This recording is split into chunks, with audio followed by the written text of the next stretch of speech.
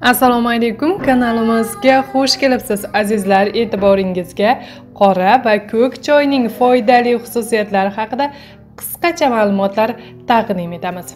Demak ko'k choyning foydali xususiyatlari yurak qon tomir kasalliklari xavfini kamaytiradi. Saraton kasalligining oldini oladi. Moddalar almashinuvini yaxshilaydi. Hujayra qarishini sekinlashtiradi.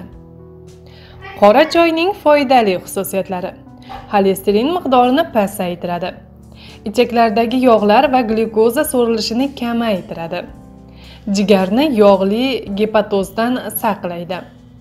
O'pkani tamaki tutunidan saqlaydi.